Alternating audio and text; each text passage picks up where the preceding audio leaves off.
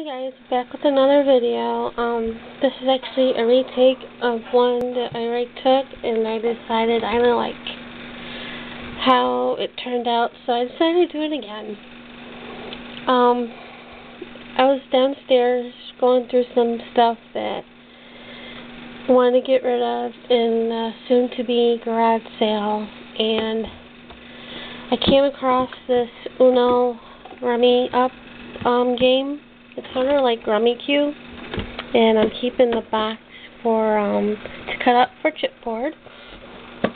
But anyway, when I opened the box, I saw these tiles, and they're like um they're thin, but they're sort of like the dominoes, you know, with that kind of smooth backing and stuff.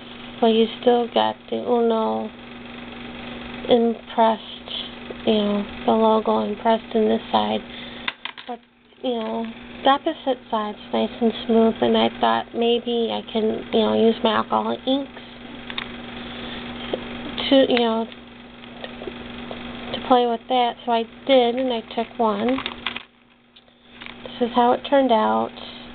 You can sort of still see three if you, um, tilt it a certain way, but otherwise it's not too bad.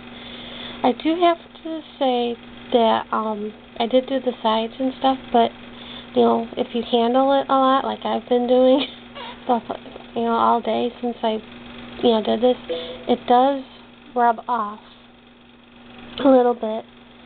You can see, you know, here and then, you know, at the ends, like, you know, touch it up, or, you know, you can like I said in my earlier video that I delete, you know, decided not to use, um, you could put like, you know, scrapbooking paper and whatnot on there and, you know, seal it really well with um, glossy accents, you know, just like you would use with the domino.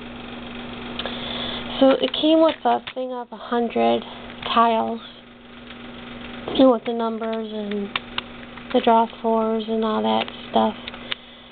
So I'd probably give some out of racks and some for me and I don't know what's the rest. So let's make a little quick share and see, see it more come off.